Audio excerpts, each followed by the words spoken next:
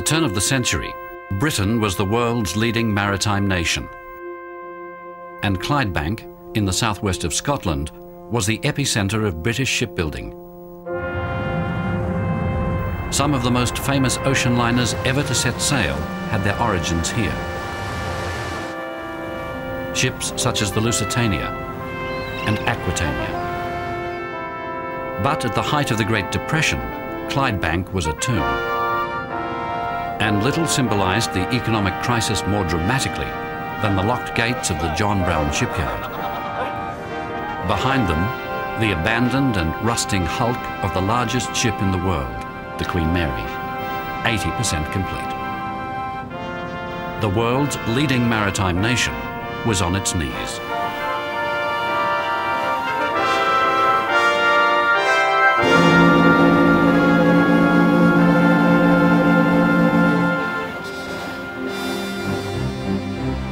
Despite the tough economic times, other nations were earning profits and prestige for their large, powerful liners. The Italian liner Rex and the German superliners Bremen and Europa had all left Britain in their wake by taking the highly prized Blue Ribbon for the fastest ship on the North Atlantic. To make matters worse, across the English Channel, the French government had underwritten the construction of a giant ocean liner of similar proportions to the Queen Mary. At 79,000 tons, the Normandie would give France the largest ship in the world and the travelling public the most elegant ocean liner ever created. With Britain's reputation as the world's leading maritime nation at stake, the British government intervened in the crisis and work began again on the Queen Mary.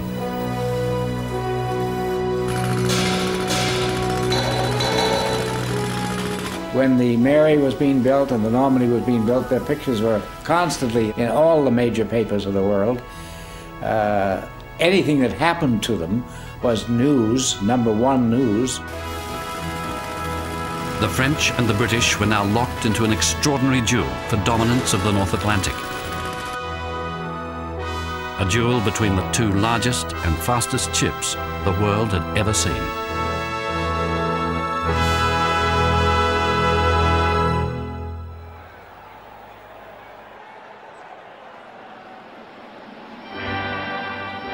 On a cold, rain-soaked day six months later, more than 200,000 people gathered to see British royalty lend its presence to the launching rituals of a merchant ship.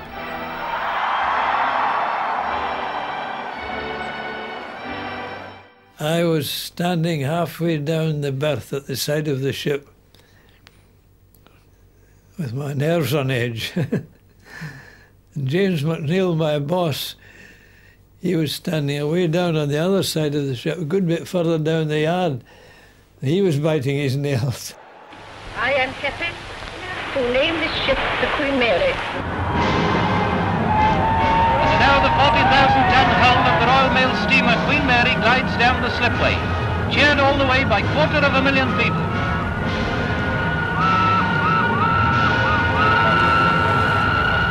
As the Queen Mary plunged into the River Clyde, she appeared to be gathering speed. Too much speed. The crowd fell silent, sensing disaster.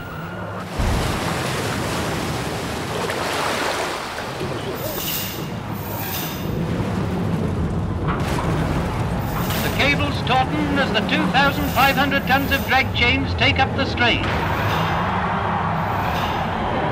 Surely a tribute to British engineering is the fact that without the slightest hitch, the launch is accomplished. I see both of us keeping our fingers crossed that all would be well. Very relieved when it was.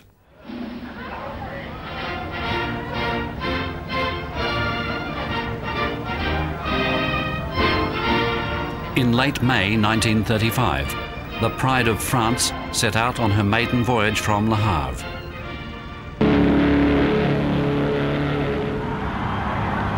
The Normandie, giant luxury liner of all the seas, carrying 3,000 souls, is a veritable floating city. The world has waited for this moment, And the question asked again and again is, will this 80,000-ton streamlined giant wrest the blue ribbon of the Atlantic from the German liner Bremen? The French line said in 1935, we are definitely not going for the blue ribbon. It's not in the making. We'll do it later on. They would not admit to it for fearing something mechanically could backfire. As Normandie sailed for New York, she carried the hopes of her countrymen that she'd be the first French ship to win the blue ribbon of the Atlantic. For the next four days, Normandie became the floating headquarters of Parisian society. In the favourable sailing conditions, Normandie averaged almost 29 knots and immediately proved herself a thoroughbred. The blue ribbon was hers for the taking. When Normandie came into the port of New York for the first time in June of 1935, every window, every building, every roof is black with people. With the fireboats leading the reception, New York Harbor roars, toots, whistles, and shrieks a pandemonium of welcome.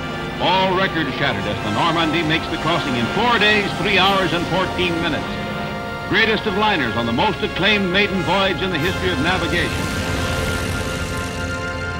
Well, of course, she captured the blue ribbon on her maiden voyage. And everyone was given a bronze medallion, blue ribbon Normandie, and it said Made in France, so they knew all along they were going to try for it.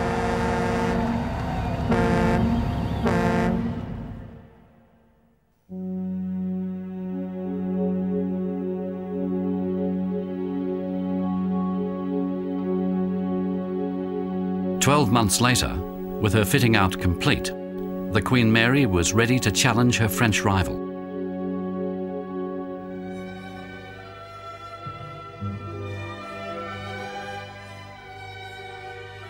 The liner's hotel-like interiors were modern, but not too modern.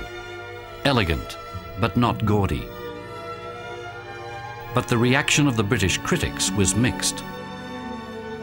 In the opinion of one London columnist, the design of her public rooms, her bars and her restaurants seem to have been aimed at dollar millionaires from the Midwest of America and their opposite numbers in England, who claim that where there's muck, there's money. But such criticisms did little to dampen the enthusiasm of Englishmen who looked upon their new maritime prodigy with pride touched with awe. And even the Queen, who gave the ship her name, was privately relieved. She and about 19 members of the royal family went down to Southampton to see the fitted out, finished Queen Mary. All very Art Deco and, well, light years away from what the old Queen liked, but nonetheless she toured it with interest. She went back that night to Windsor Castle and she wrote, Toured the new Queen Mary today, not as bad as I expected.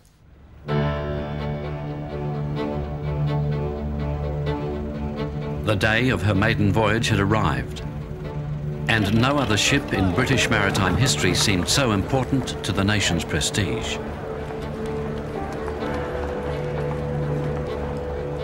At four o'clock, she said, about three o'clock, they asked me to take a message over to the head office ashore.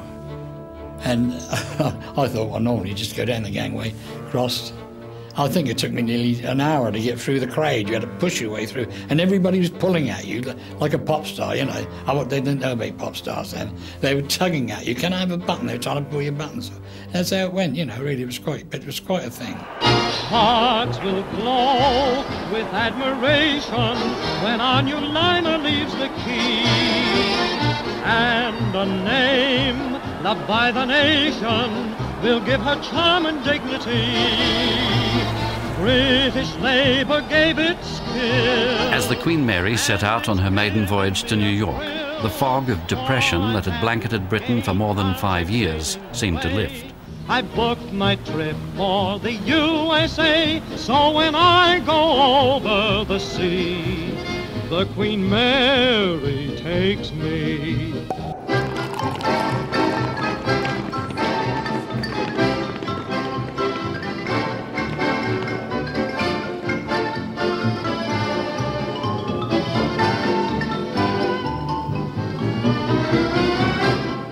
Throughout the voyage, conversations turned to the Queen's stunning progress.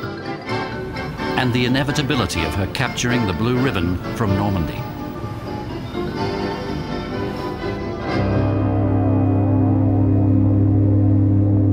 Only a day out of New York, a fog of the Atlantic kind engulfed the Queen Mary. Cunard White Star very worried. Titanic always loomed in the background. Fog, see, so she slowed right down. And she slowed down for probably half the day. She lost the mileage. And it was a big, big disappointment. Everybody's a little bit disappointed about that.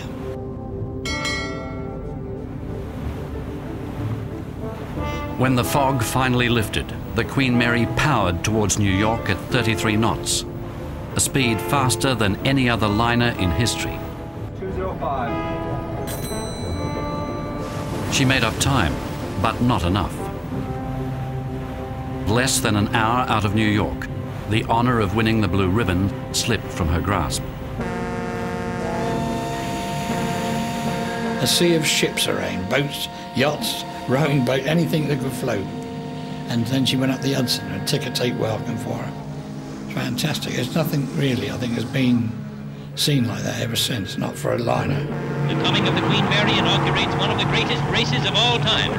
Which ship will turn out to be the faster, the Normandie or the Queen? That is the question of the hour. Here is Commodore Sir Edgar Britten.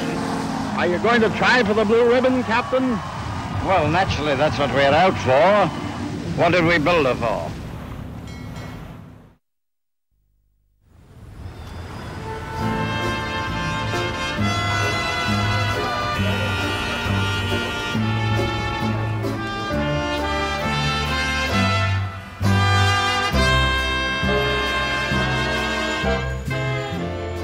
The 1930s, New York was the busiest port in the world and the most glamorous.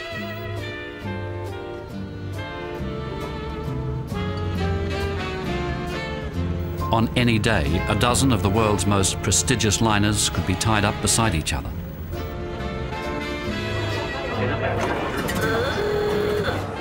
And in those tight money times, competition was stiff for the hearts and minds of the travelling public. In the newsreels of the day, the comings and goings of liners and the celebrities who travelled on them became a cliche in itself. But the reporters got a colour story for the next edition, and the stars and the shipping lines got welcomed publicity. Some lines even made passenger lists available to the media to ensure cameras would be pointing in their direction rather than at the competition.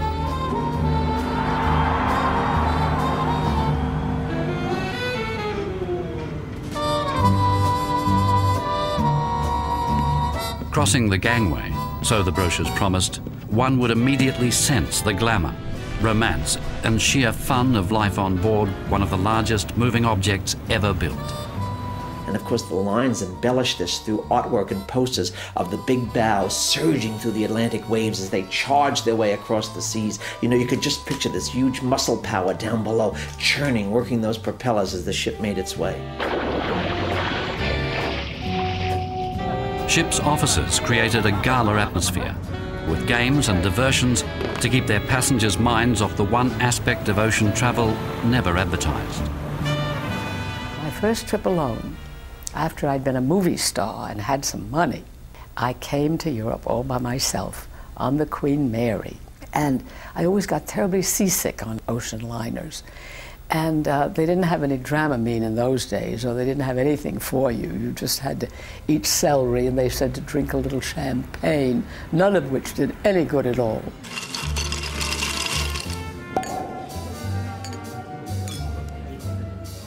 The elegant salons and dining rooms were designed to help passengers forget about the rolling Atlantic and make the best of the $700 first class ticket.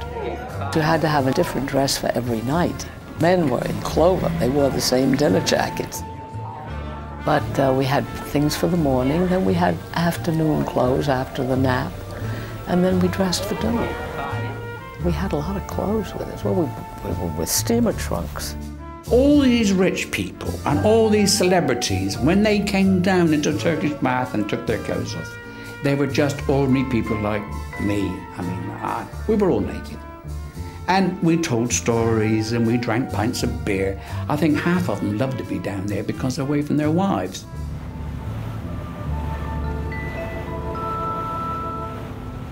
Only months after her maiden voyage, the Queen Mary captured the Blue Ribbon from Normandie and became the first ship to make the Atlantic crossing in less than four days, averaging more than 30 knots. The following year, Normandie regained the prize with two record-breaking crossings. On the second, she averaged 31.2 knots. Then, in 1937, the Queen Mary pushed the speed barrier even further to 31.6 knots, a record that wouldn't be bettered for nearly 15 years. In the great race between the superliners of the 1930s, the Queen Mary won out over her rivals not only in speed, but in profits. The Normandie, as lavish and as wonderful as it was, was a, a little bit of overkill a lot of people who might have booked it said, gee, I don't know if we'll fit in on the Normandie. It's just a little too luxurious, a little too posh, a little too over the edge. So we'll go on a less pretentious ship. And it's interesting that the only success of the 30s of that inner breed of superliners was the Queen Mary, because she had a wonderful sort of British sense of unpretension, coziness, good service, the whole bit that made it work. And she was the only successful giant of the 30s.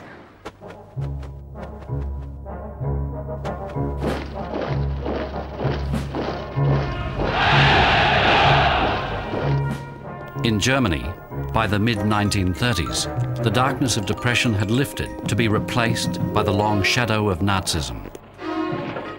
Soon after he came to power, Adolf Hitler sent his people back to work on grand national projects. As well as creating the finest infrastructure in Europe, Hitler saw Germany as a powerhouse of industry, trade, and finance.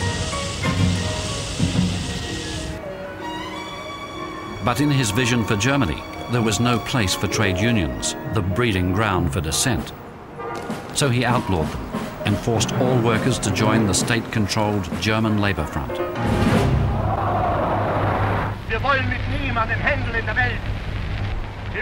But how to win over the hearts and minds of the workers to Hitler's fascist ideals? The propaganda division of the Third Reich came up with the idea of offering inexpensive holiday voyages to workers, especially those who were members of the Nazi Party. They called the scheme Strength Through Joy. The aim was to give the German workers the opportunity to relax. For most of the passengers, it was their first encounter with the sea and a chance to visit exotic destinations few Germans ever thought possible of seeing.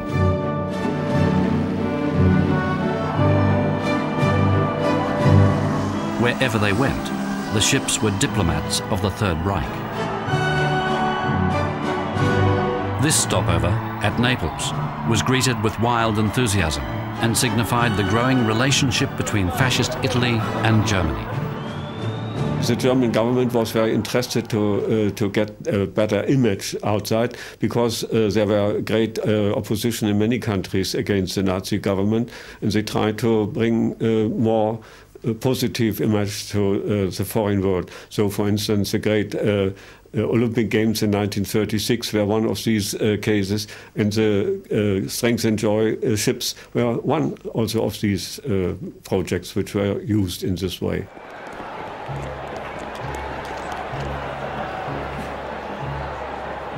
Strength Through Joy cruises became so popular, the German Labour Front commissioned the construction of two new liners.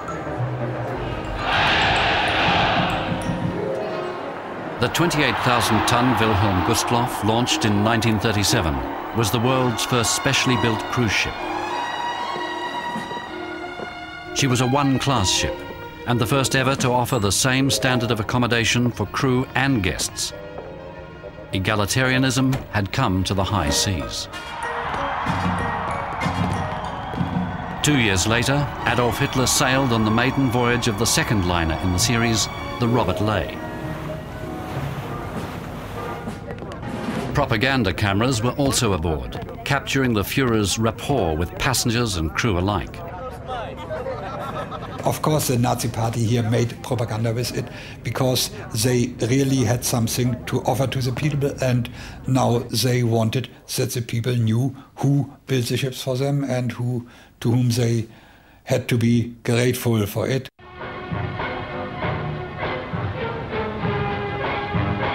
Strength through joy gave German workers an ocean-going inducement to continue their support for Hitler. Before long, however, the fine music from the ship's orchestras would be drowned out by the drums of war. Another catastrophe was in the making, and joy would be in short supply for the duration.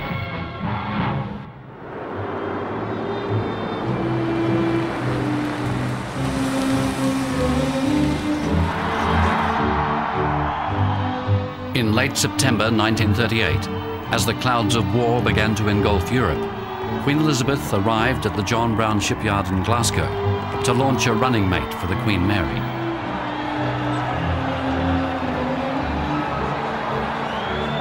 In front of 300,000 people, the Queen took the opportunity to rally Britons to the cause of peace, not war.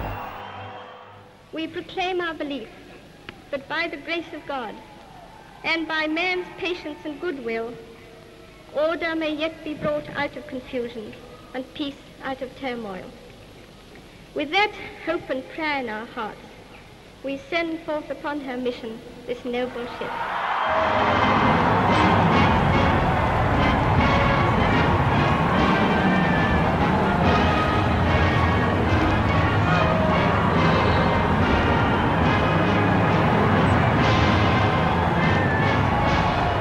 83,500 tons and 1,030 feet in length, the Queen Elizabeth would supersede all before her in size. Along with the Queen Mary, she'd give her owners, Cunard White Star, its long-awaited two-ship weekly service to New York.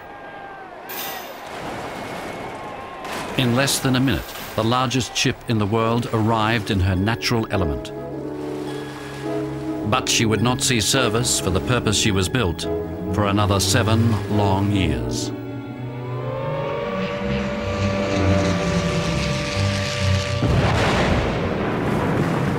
Dawn on the 1st of September 1939. For the new German armies and air force, a baptism of fire. As the tanks of the fatherland rolled into Poland, Germany ignited the Second World War. At Glasgow, that same fateful morning, 1,400 passengers boarded an Anchor Donaldson Line steamer, the Athenia, bound for Montreal. Two days later, the day Britain declared war on Germany, the Athenia crossed paths with a German U-boat 250 miles northwest of Ireland.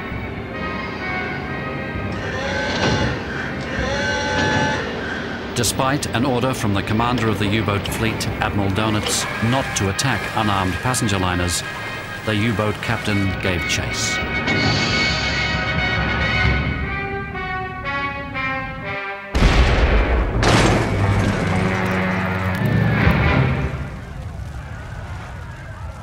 The Athenia sank in 20 minutes with the loss of 112 passengers, including several Americans.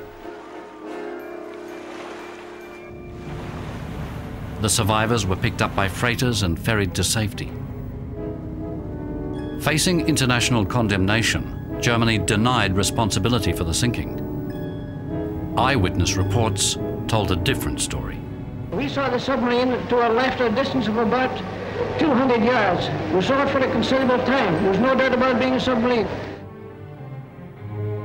For Germany, the Athenia sinking was a propaganda disaster. And it proved that from day one of the war, that liners and their passengers weren't going to be exempt from the carnage. Like the First World War, this conflict was total war.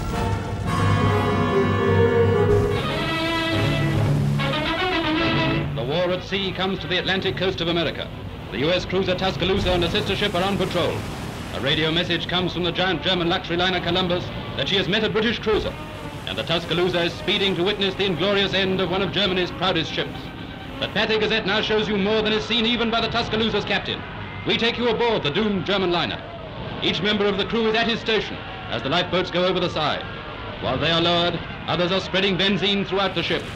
When almost all are safely in the lifeboats shoving off from the vessel, a suicide squad of 10 and the captain start the fires and open the sea valves, and Germany's 32,000-ton liner Columbus begins to burn. These scuttlings can mean only one thing, that in his own mind Hitler has already lost the war. His hopes are fading in pillars of smoke and fire at sea.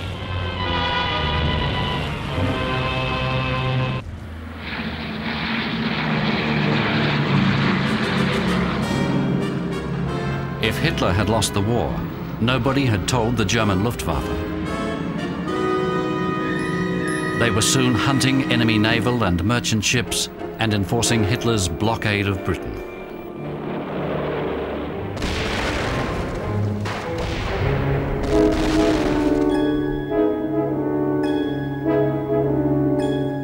British Admiralty feared the Luftwaffe would soon have their sights fixed on the giant shipbuilding centre on Glasgow's River Clyde, where the world's largest liner, the Queen Elizabeth, was still being fitted out. Her escape was to be one of the most daring of the war. Certain that spies were in the area, a deliberate rumour was spread that the liner would be sailing to Southampton for dry docking. But her real destination was unknown to all on board, even the captain. Well, I, think all they were told was to take clothes for a possibly absence on the ship for a bit. But they didn't know where they were going. At sea, Captain Townley opened sealed orders. The destination, New York. As she sped across the North Atlantic, Nazi bombers were spotted over the Solent, precisely where she would have been sailing en route to Southampton. It was a dramatic escape, especially for a ship that had never been to sea before. And there was still launch gear fixed beneath the water. She'd had no engine trials, she'd had no trials of any kind. Her sea trials were crossing at speed, evading U boats across the North Atlantic. She arrived unannounced. The Coast Guardsman standing on the beach out at Fire Island suddenly saw what he described as a great grey ghost coming out of the mist, and it was the Queen Elizabeth. It was the first time the maiden voyage of such an important liner had gone unheralded. Next to that of the Titanic, it would have to rate as one of the most dramatic maiden voyages in history. At New York, the Queen Elizabeth found herself in good company. And she and the Mary and the Normandie, the three monsters, the longshoremen call them, tied up in New York for two weeks together in March of 1940. And it was a low point of the war for the Allies because the Low Countries were being overrun. France was about to surrender. And then the Queen Mary went to war.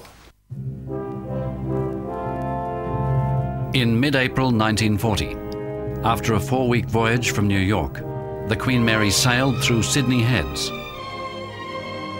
Over the next two weeks, Australian ship workers would transform the luxury liner into a troop ship. She was joined in Sydney by six other British liners, including the new Mauretania and the First World War veteran Aquitania. Together they were to make the first great armada of the Second World War.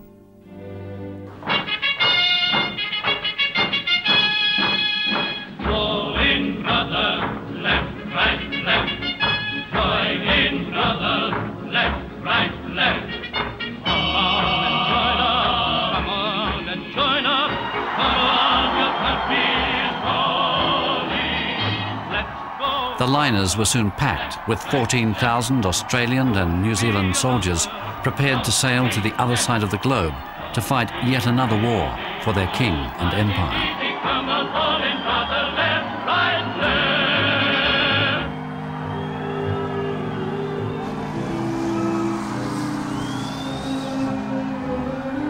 The Queen Mary was the largest and fastest troop ship the world had yet seen and her impressive departure couldn't have gone unnoticed by fifth columnists in Sydney. If she came to grief at the hands of a U-boat, it would be a propaganda coup for Germany. The voyage would take more than five weeks to reach Scotland, its speed dictated by the slowest of the vessels. Everyone involved was conscious of both the risks and the importance of the mission to the survival of Britain. When you're down below in a ship, in the hull of a ship, and you're, you're normally the lower part of the ship, and you can see the still structure of the ship there, and here's your bunk there, you think, cracky, if a torpedo hits us there, I was frightened.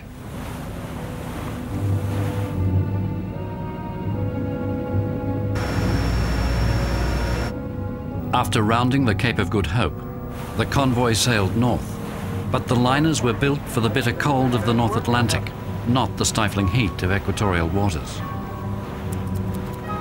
Unfortunately, the Aquitania was not air conditioned. She was a hot ship. She stunk with heat. I mean, I used to sleep on the forward deck on a mattress. I never slept down, but it was too hot. And the Australians used to try and get onto the deck, so the whole upper structure of the ship was full of Australian soldiers and crew to get air at night. Terrible. What should have been a triumphant arrival in Britain was overshadowed by the news that France had offered its surrender to Germany only hours before.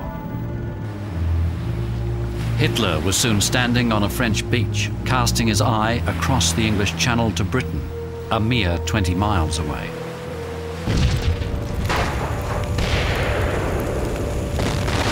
Bombs were soon falling on London, and Britain was now facing one of the most dangerous periods in her long history.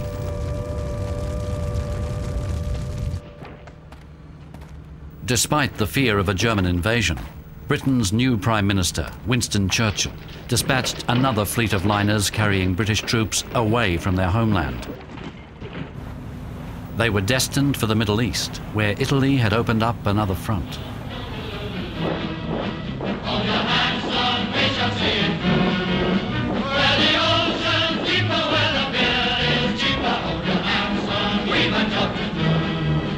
For nearly 100 years, British liners had sustained the empire. Now they were fighting for its very survival. At stake, the Suez Canal, the lifeline for vital supplies from her dominions.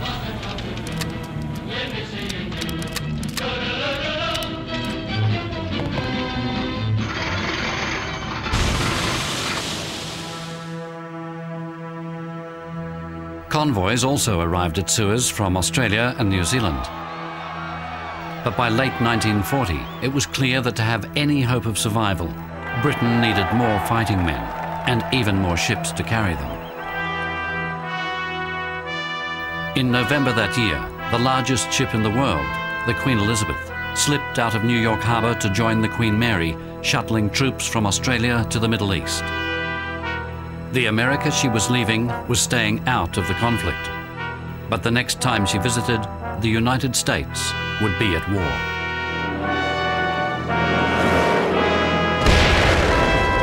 Since the unprovoked and dastardly attack by Japan, a state of war has existed between the United States and the Japanese Empire. Within hours of declaring war on Japan, President Roosevelt seized the French liner Normandie and ordered her to be transformed as quickly as possible into a troopship. When I came out of the subway, the entire sky was brown from the smoke of the Normandie.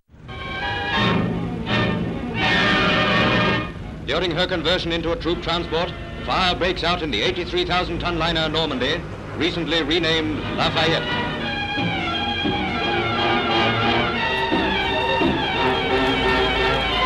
Thousands of workers had to flee for their lives as flames roared through the one-time French luxury liner. The dockside at New York Harbor is cleared as firemen and operators from all over Manhattan fight the stubborn blaze that rages for four hours. Not sabotage? I wonder. Normandie wasn't done in by a German saboteur. She was done in by sheer carelessness. Men were cutting a cutting job in the Grand Salon, and the man holding the asbestos shield took it away a fraction of a second too early. And white hot fragments fell onto Kapok life preservers bundled in tarred paper and new burlap, and they started to burn. While the fire was contained to the top three decks, a new danger presented itself. The closing of the fireproof doors prevented the escape of thousands of tons of water poured into her from the fire hoses. Gradually, Normandie became top-heavy and took on a dangerous list. I found uh, Vladimir Yourkevitch in the crowd. He was the designer of the hull of the ship. And uh, he had just been to Admiral Adolphus Andrews, who was the Navy man in charge. And he told me, he said, I, I told him that, let me on board. I can find the seacocks blindfolded. I will open the seacocks, the ship will sink three feet and be perfectly level. She will not tip over. Andrew said, this is a Navy job and that was the end of the Normandie.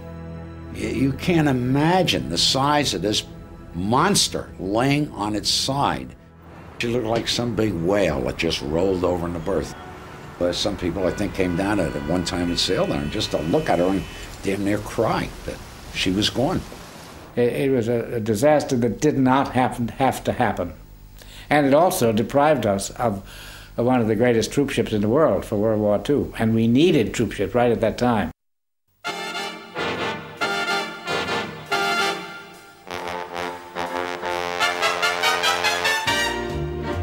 Nine days after the loss of the Normandie, the Queen Mary was flying the American flag and carrying her troops to the other side of the globe. Their task? To begin the battle for the Asia Pacific and help defend northern Australia, which by now was under Japanese attack.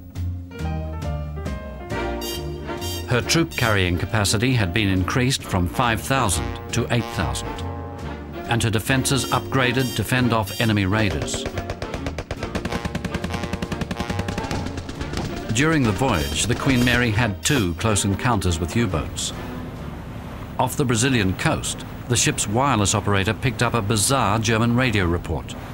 The radio officer ran up to the wheelhouse. He said, Captain, Captain, I've just overheard Berlin radio has announced that we've just been sunk and all 15,000 on board have drowned. To which the captain says, How interesting, but don't tell the boys, they'll get upset.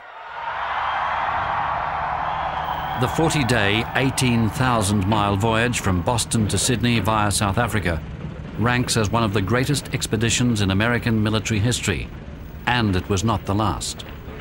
Thanks, Mr. Roosevelt, it's swell of you, all the way you're helping us to carry on. Over the next two years, more than one million Americans would arrive in Australia, a country with a pre war population of only seven million. Was something about them that they, uh, they were a little more giving, a little more attentive, I think, than Australian men. And they also found that we were a little different to American women. More appreciative we were, I think. And our mothers loved them.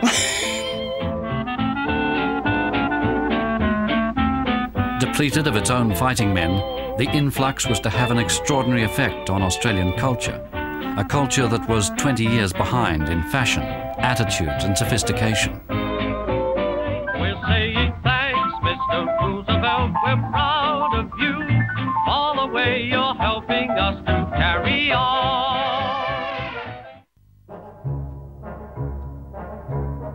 In November 1942, the greatest armada in history sailed from Britain and the United States. Codenamed Operation Torch. The top secret expedition involved 170 warships and 350 merchant ships crammed with American and British troops. Their aim, to make an all-out assault on the German and Italian forces in North French Africa.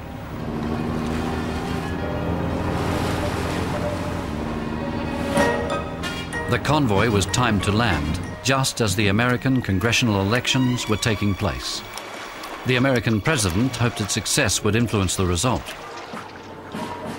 But the landing was delayed by four days and the domestic propaganda value to President Roosevelt was lost.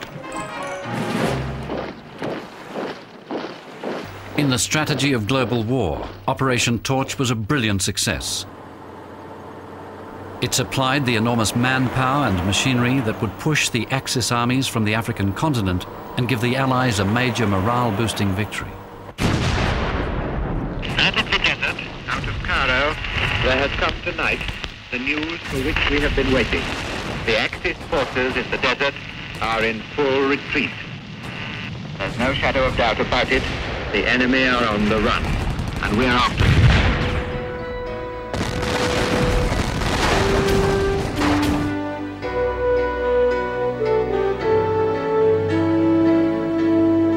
The Second World War wasn't just sustained by ships, they were the vital factor. The greatest movement of troop ships was on the dangerous North Atlantic, from the United States to Britain, supplying much needed troops who would finally turn the tables on Germany in the battle for Europe. But the convoys were slow and prime targets for German U-boats. On the high seas in those deadly days, vigilance was the price of life.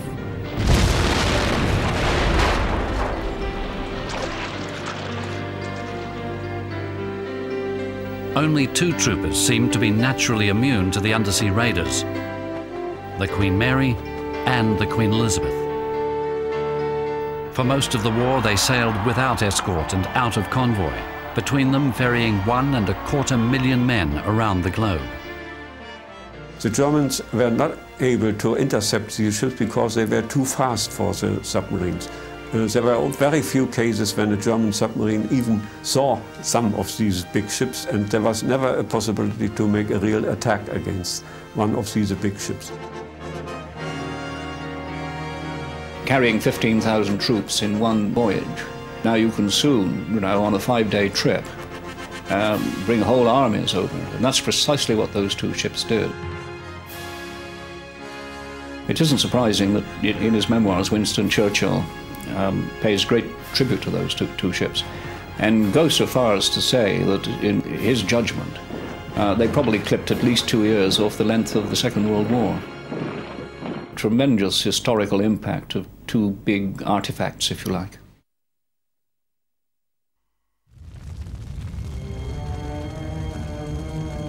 In the Second World War, thousands of merchant ships from both sides were destroyed.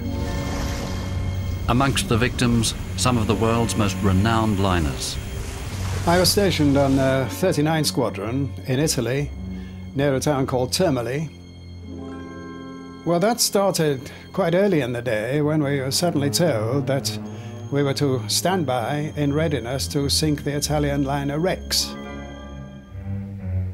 The Germans were supposed to be sailing her out of Trieste harbour, and it was believed that they were going to sink her in the harbour mouth as a block ship to prevent um, any of our ships from getting into the harbour. This was all that we knew.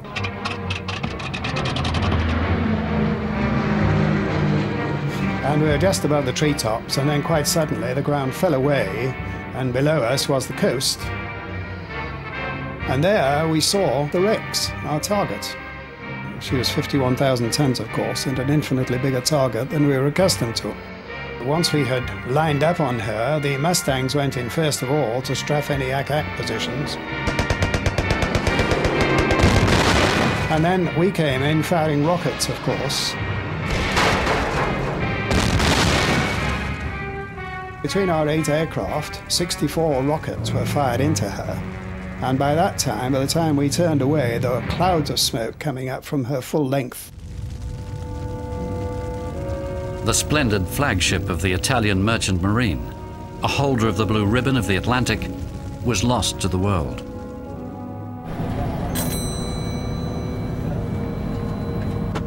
Adolf Hitler's strength through joy ship, the Wilhelm Gustloff, was torpedoed by a Russian submarine in late January 1945 she was crammed with thousands of refugees and wounded soldiers.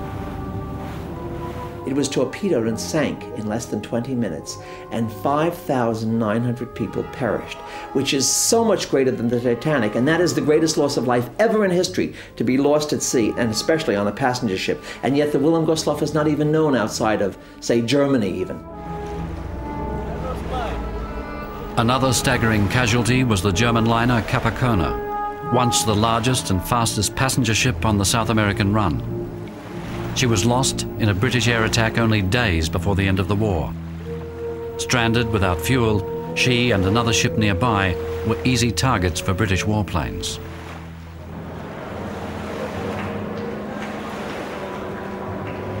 Records recovered from the wreck confirmed that more than 8,000 people mainly prisoners from concentration camps, were on the two ships.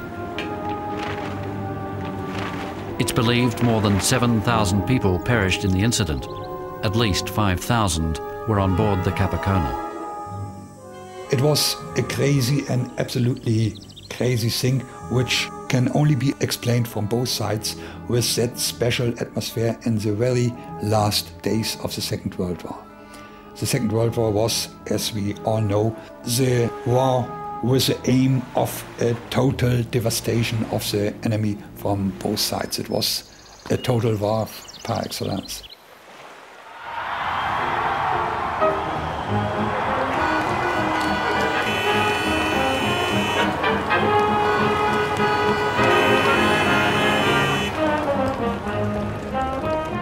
For many liners and their crews, war duties were far from over. There were millions of battle-weary troops, POWs and war brides to deliver safely to the four corners of the globe. Without Britain's extraordinary fleet of liners, the outcome of the Second World War may have been markedly different for the Allies. The ability to move great numbers of troops fast was an essential ingredient of global war. Airplanes could never do it so it had to be the liner. The liner did make global war much more practical and possible.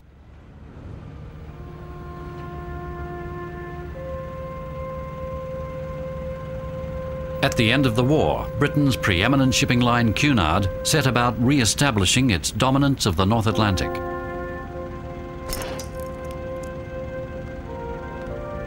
By late 1946, the Queen Elizabeth had been transformed from a war machine to a floating palace.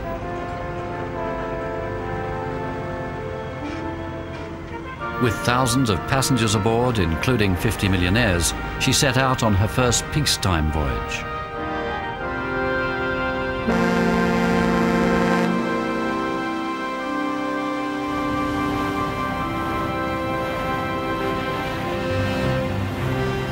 With Russia's Mr. Molotov aboard, the Queen Elizabeth noses her way into New York's Hudson River.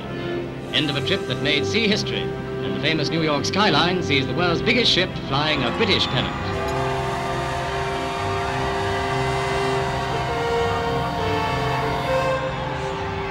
The following year, the Queen Mary joined the Queen Elizabeth on their long-awaited twice-weekly service from Southampton to New York.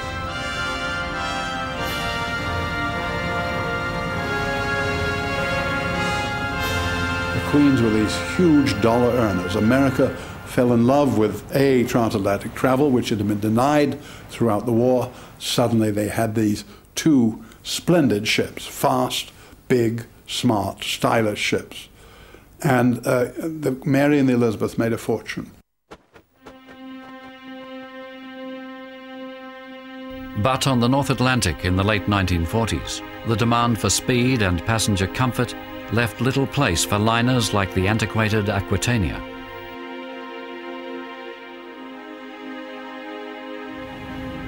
In 1950, she left Southampton on her final voyage, bound for the shipbreakers. She had survived service as a troop ship in two global conflicts, but wouldn't be around for the next war.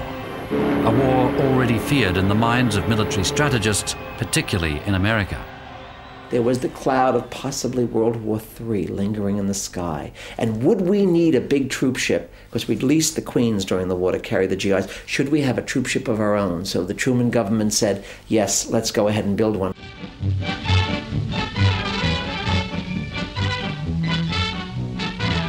America's newest challenge for world supremacy in merchant marine is launched at Newport News. Senator Tom Connally's wife wielding the bottle of champagne.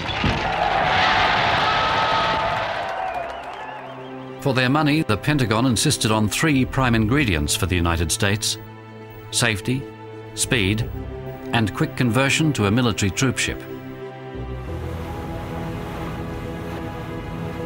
Her massive turbines were designed for aircraft carriers. And on paper, she was 40% more powerful than the Queen Mary. In July 1952, she set out on her maiden voyage with the blue ribbon directly in her sights. After clipping 10 hours off the Queen Mary's Atlantic crossing record, the United States, fastest liner in the world, proudly approaches Le Havre to make her first docking in Europe. And the French turn out to give a royal welcome to the new Queen of the Atlantic. The United States averaged more than 35 and a half knots, cutting almost half a day off the sailing time across the Atlantic.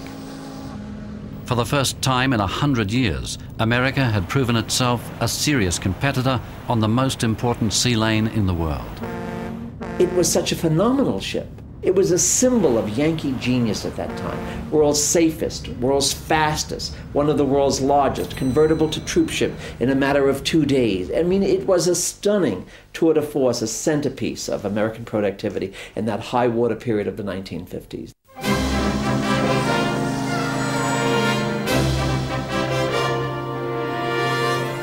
In the decade following the war, competition soared on the North Atlantic. Anyone who was anyone had their favorite ship. And again, the lines capitalized on their allegiances as they offered their opinions to newsreel cameras. I just want to tell you that it's been a wonderful trip on this uh, United States. It was a great, great trip. That's a beautiful ship, and I understand the Cunard Line gave it a 21 torpedo salute when it came in today.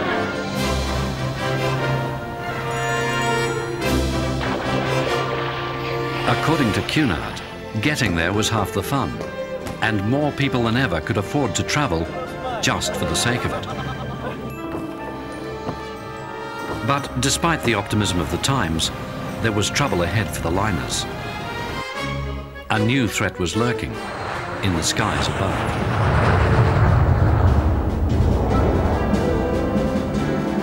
In October 1958, the first commercial jet began a regular transatlantic service to London. Suddenly, the crossing could be measured in hours, not days.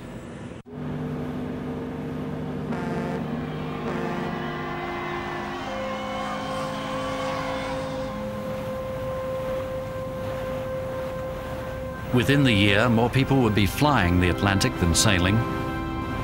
And on some voyages, crews would be outnumbering passengers, even on the luxurious Queens.